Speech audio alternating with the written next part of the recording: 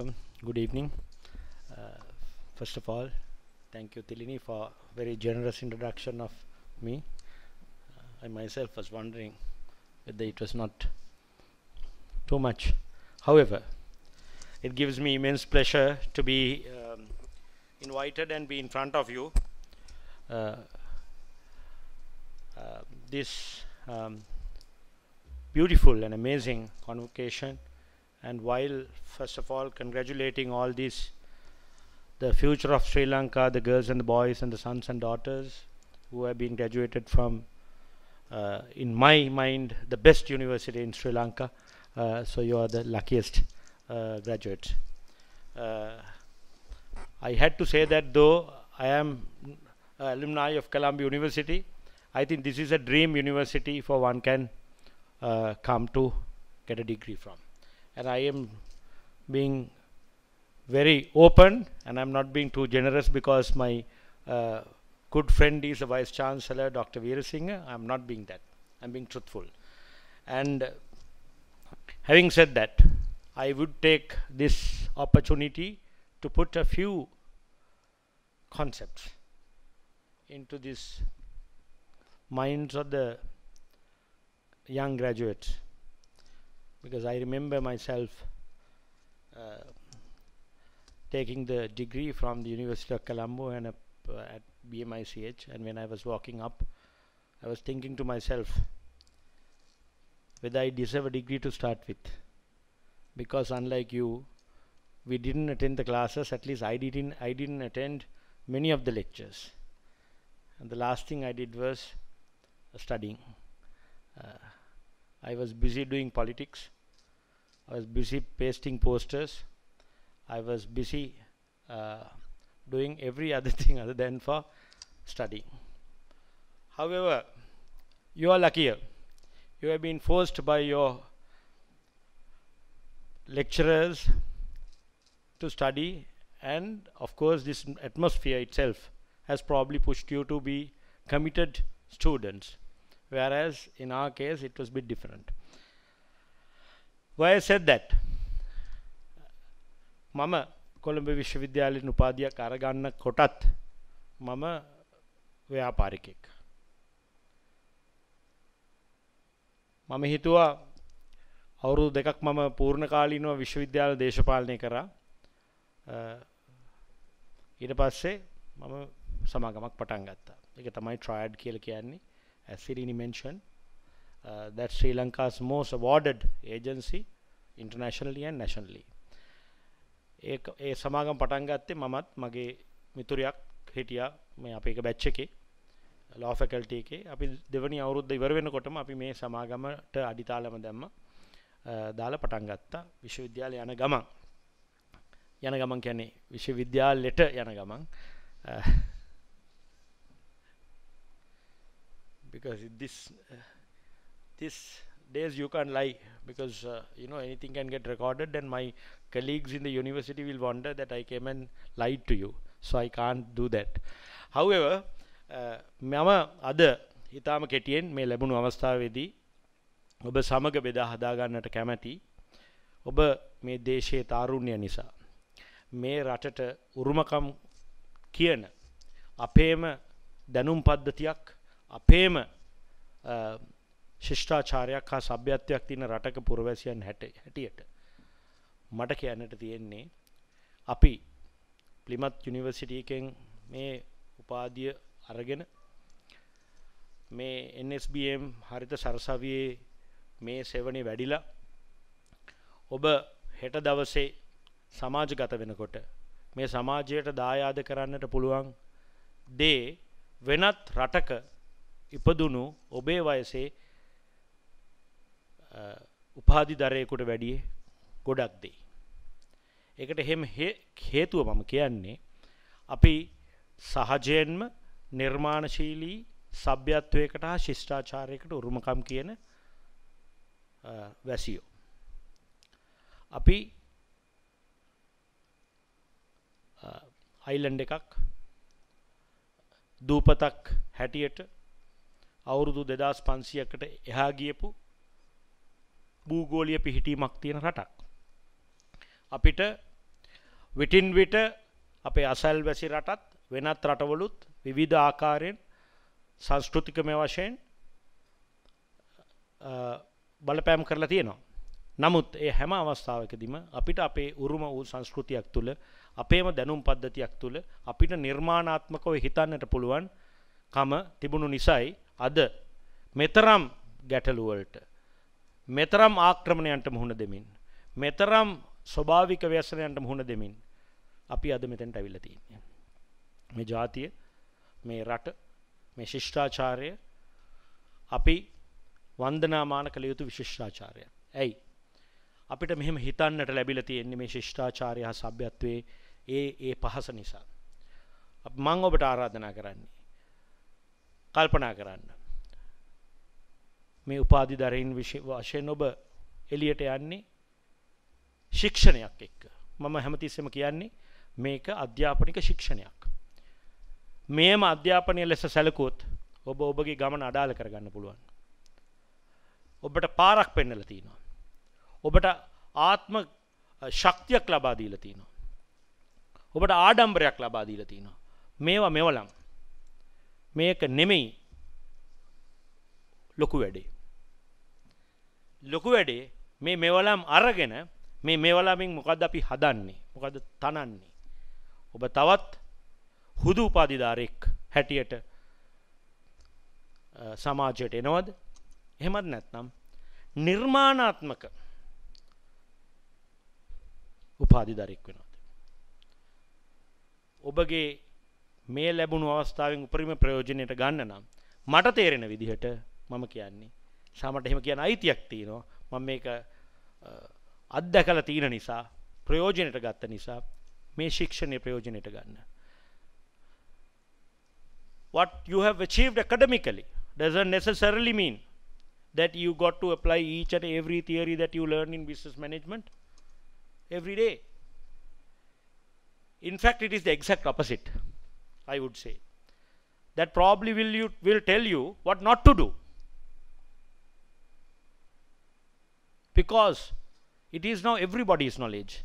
Plymouth University must be having that many um, university branches in the world, I suppose. Maybe දැන් මේ දැනුම කොහොමද අපි ඉගෙන ගත්ත දේ සම්පූර්ණයෙන්ම අලුත් විදිහට යොදාගන්නේ මේ දැනුම ඔබම දන්න පරිදි දැන් බොහෝ දෙනා දන්නවා.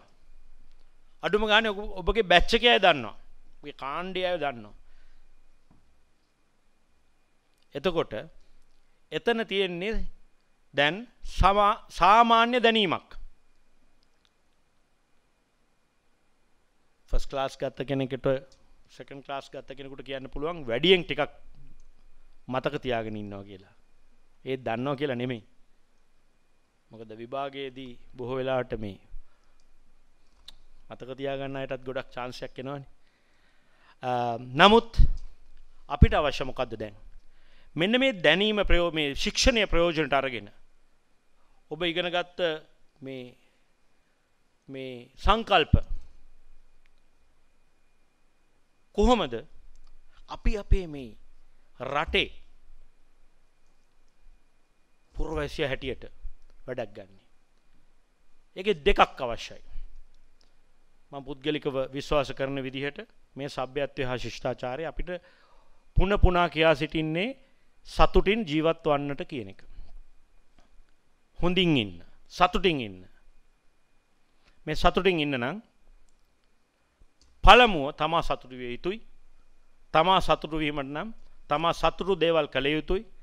තමා සතුටු දේවල් පසුප සහභායා යුතුයි. එමගින් තමන් තෘප්තිමත් විය යුතුයි. මේක තමයි අපේ සභ්‍යත්වයේ හරය. මේ තමයි අපිට සිංහල ජාතියක් හැටියටත් ශිෂ්ඨාචාරයක් හැටියටත් බෞද්ධාගම දර්ශනයක් හැටියටත් කියා දී තිබෙන්නේ. එතකොට අපි ඔබ කොහොමද මේ හෙට දවස මේකේ ප්‍රයෝජනය ගන්නේ. ඔබ හිතන්න මොහොතකට. නිර්මාණශීලී පුද්ගලෙක් හැටියට. හැමදේම නිර්මාණශීලීව දැක්කොත්. ඔබේ සතුට දෛනිකයි.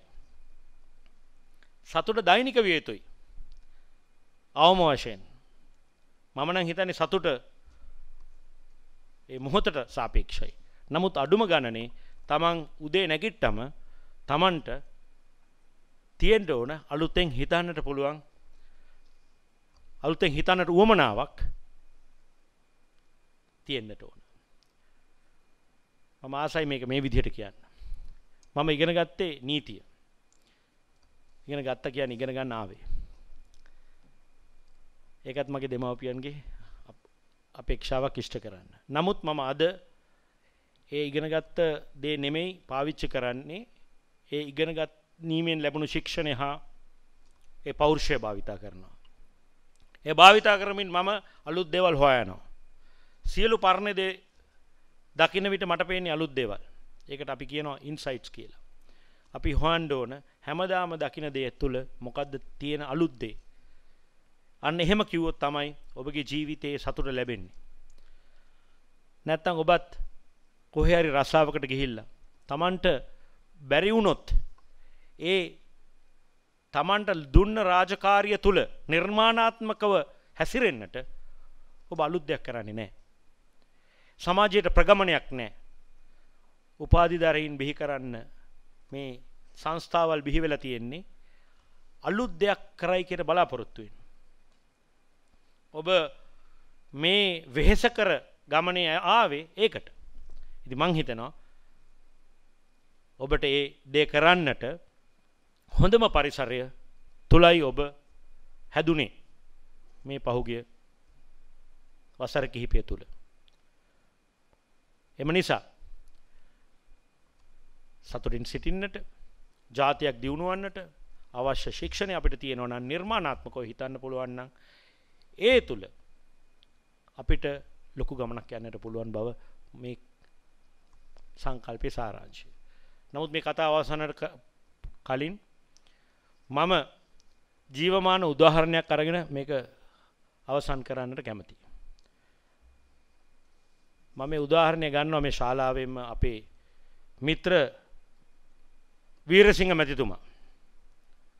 Now I take him as an example wherever I go to talk to the youth. Now I see him as a person who has seen something which, is, which was existing but saw it completely differently and making this whole nation very proud.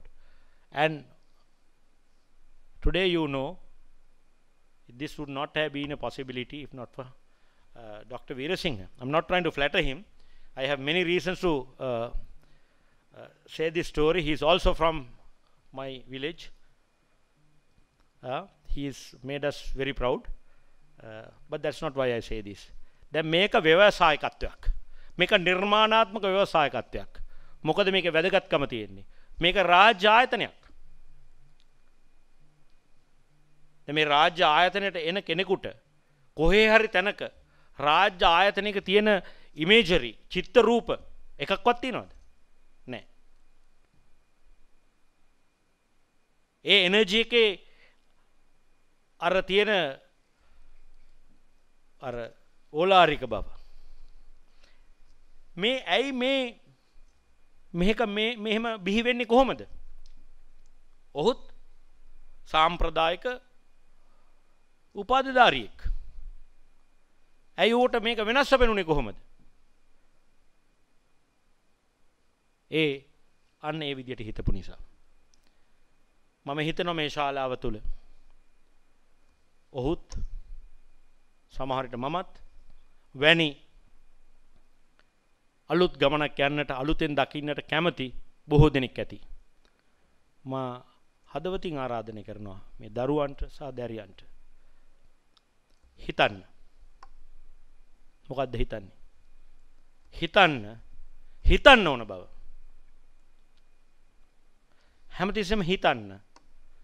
අපි මේ ලද ශික්ෂණය තුළ ඒ රාමුව තුළ රාමුව බිඳින විදිය හිතන්න. මේ ඉගෙනගත්ත සංකල්ප නොවනා නම් ඊට ඔබ්බට ගියපු චින්තනයක් ගැන හිතන්න. එතකොට ඔබ ඉතාමත්ම සාර්ථක පුද්ගලකින් බවට පත්වනවා ඇති. සමහර විට මේ ශාලාවේ සිටින්නට පුළුවන් මේ ලංකාවට බිහිවෙන ව්‍යවසායකයෝ ඒගොල බිහිවෙන්න පුළුවන්. මේ රටේ දිසානතිය අනාගතය වෙනස් කරන දරුවන් දැරිවියන් මෙතන ඇති. මහිතනවා මම ඒ ගෞරුවේ කොටස්කරුවකු වන්නට දවසක ලැබේවායි ලැබෙයි කියල එසේ ප්‍රාර්ථනය කරමින් මට මේ අවස්ථාව ලබාදුන් මේ අමතක නොවන අවස්ථාව ලබාදුන් NSBM හරිත සරසවියේ උපකුලපති මහාචාරය වීරසිංහ මැතිතුමත් සෙසු